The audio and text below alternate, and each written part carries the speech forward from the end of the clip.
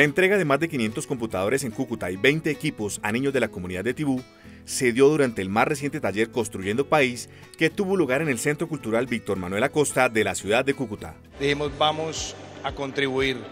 y ahora lo estamos haciendo con estos computadores también para que tengan conectividad los niños del municipio y esperamos esto expandirlo en toda la región del Catatumbo con el programa integral que queremos para esa región. Eso le decíamos a la ministra que los niños y nosotros no le solicitamos nada, fue voluntad del presidente que quiere apoyar la cultura y el crecimiento del ser humano en todos los municipios. Los equipos cuentan con contenidos educativos, juegos y aplicaciones que les ayudarán a los niños tibullanos en actividades de formación educativa, artística y cultural. Con el